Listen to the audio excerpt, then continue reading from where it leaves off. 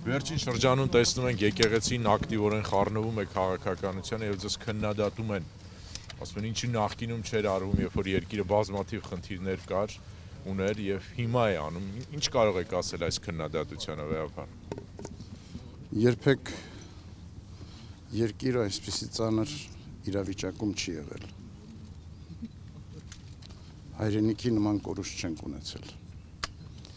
երկիրը երբեք նման վտանգների առջև կանգնած չի եղել։ Անորոշությունը վաղվա օրվա նկատմամբ անհանգստացնող այդպես չի եղել, տակնապեցնող չի եղել մեր ժողովրդի համար։ Եվ այս կացության մեջ եկեղեցին բնական է իր առաքելության մեջ պիտի գտնվեր եւ իր խոսքը պիտի ասեր։ Իր խոսքը զգաստացնող իր խոսքը падգամի կերպով բերող։ Շարունակում եք պահանջել Նիկոլ Փաշինյանի հրաժարականը։ Ես չպիտի ցանկայի այս նվիրական սրբավայրում որևէ քաղաքական հարցերի անդրադառնալ, բայց զուտ քանի որ հարցը հնչեց, ասեմ, որ մեր համոզումներում, մեր դիրքորոշումներում որևէ փոփոխություն չկա։ Վերաբար արդյոք եկեղեցին չի բռնում քաղաքական ուժերի մեկի կողմը եւ արդյոք իրեն չի դիրքավորում որպես արդյոք համախմբան փոխարեն այստեղ պարակտող ինչ որ քայլեր չի ձեռնարկում։ Եկեղեցին առաջնորդվում է ազգային եւ պետական շահերից։ Եվ եկեղեցու դիրքորոշումը եթե համահունչ է այս կամ այն խմբակի քաղաքական ուժի հայացքներին դա չպետք է մեկնաբանվի որպես կողմնակցություն եկեղեցու այս կամ այն քաղաքական կուսակցության։ Եկեղեցին եկեղեցին վեր քաղաքական վեր քաղաքական հաստատություն է։ Բեհապար կառույց է։ Մեհապար ձեր հայտարարությունից հետո դուք ինչ հետևություններ արեցիք, երբ տասնյակ հազարավոր քաղաքացիներ դուրս չեկան ձեր կոչից հետո փողոց եւ չպահանջեցին օրվա իշխանության հրաժարականը։ Մենք որևէ կերպով հորդոր եւ կոչ չենք ուղղել, որ ժողովուրդը դուրս գա փողոց եւ համապատասխան գործողություններ իրականացնի։ Մենք հորդոր ենք ուղղել Հայաստանի Հանրապետության վարչապետին։ Մեր հիմնավորումները ներգրավված են, մեր հիմնավորումները արկա են մեր խոսքի տեքստում։ Այնուամենայնիվ դուք Նիկոլ Փաշինյանի հետ ինչ հարաբերություններ ունեք։ Մենք տեսնում ենք, որ վերջին ժամանակաշրջանում այսպիսի միջոցառումներին առանձին առանձին եք ներկայանում։ Մենք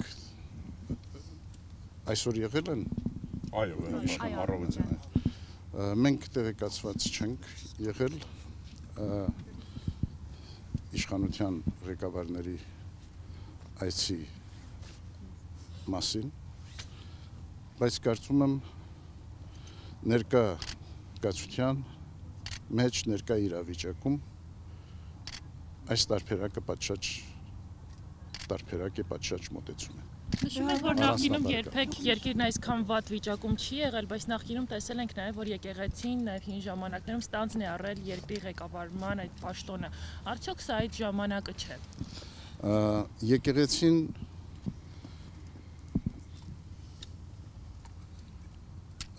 քաղաքական առաջնորդության դերակատարություն ստանցնել է այն ժամանակներում, երբ չենք ունեցել պետականություն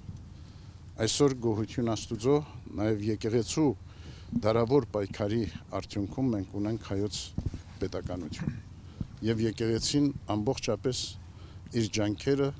ներդնելու է այդ պետականության զորացման, այդ պետականության անվտանգության, այդ պետականության ամրացման նվիրական գործ։ Վեհապար այսպեսի մի հարց նախկինում մենք տեսել ենք, որ մենք մենք տեսել ենք նախկինում, որ քննադատվում էին իշխանությունները ընտրություններ կեղծելու, մարտի 1-ի դեպքեր եւ այլն եւ այլն, այսպեսի բազմաթիվ դեպքեր, բայց մենք չէինք լսում, որ եկեղեցին քննադատեր իշխանություններին հրաապարակա, որ օրինակ ինչու են ընտրություններ կեղծվում կամ մարտի 1-ին տեղի ունեցածի հետ կապված, ինչ կարող եք ասել այս քննադատությանը։ Եկեղեցին ինքն է որոշում թե ինչպիսի պարականերում, ինչպիսի իրավիճակներում իր ձայնը բարձրացնի, իր ձայնը հնչեցնի։ Եկեղեցին նման իրավիճակներում փաստերին չի տիրապետում։ Եվ գուշակություններով, կրահումներով եկեղեցին չի կարող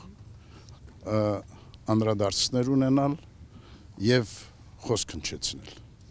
Բնականաբար ստեղծված իրավիճակում եկեղեցու մեղքի բաժինը դուք տեսնում եք հաշվի առնելով որ երկար տարիներ եկեղեցու տարբեր հոգևորականների կապում էին ինչ-որ կոռուպցիոն գործարքների, նյութական արժեքների հետ եւ եկեղեցին հիմնավոր չէր հերքում այդ բոլոր լուրերը։ Գիտեք, յուրաքանչյուր անձի կարելի է մեղադրանք ներկայացնել։ Պետք է այդ մեղադրանքները փաստվեն պետք է այդ մեղադրանքները հաստատվեն։ Եվ այն ժամանակ կարելի է խոսել եւ քննադատել եւ պատասխանատվության կանչել։ Ընթուք նաեւ եկեղեցուն։ Եկեղեցու ղեկավարությանը։ Երևույթներ, այո, իմ կողքին կանգնած է Նավասար Սրբազանը։ Նավասար Սրբազանը ստացել է նվեր։ Ինչ որ ավտոմեքենա։ Բենթլի Bentley ավտոմեքենա։ Եվ այդ Bentley ավտոմեքենան ինքը նվիրել է գումարը հետագային ինքը օտարել է, վաճառել է, նվիրել է կարիքավորներին։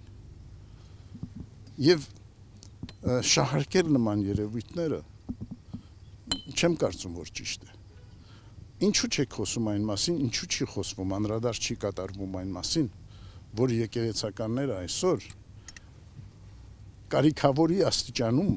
իրենց առաքելությունն են իրականացնում անտրտունջ կերպով։ Ծանոթացեք մեր եկեղեցականների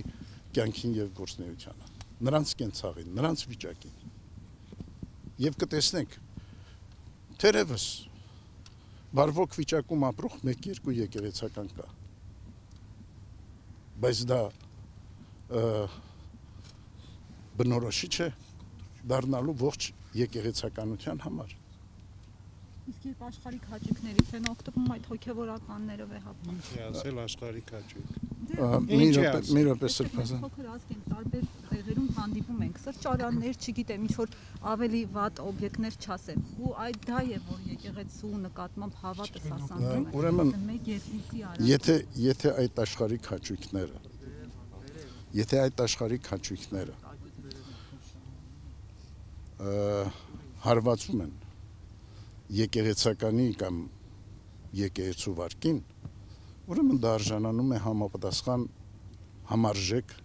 գնահատանքի եկեղեցու իշխանության կողմից։ Եկեղեցին վերաբերմունք է դրսևորում եւ խիստ վերաբերմունք նման երևույթների նկատմամբ։ Եկեղեցու վերադաս վերադասը եկեղեցու իշխանությունը։ Այնպես որ իսկ པարս հաճույքներ բնական է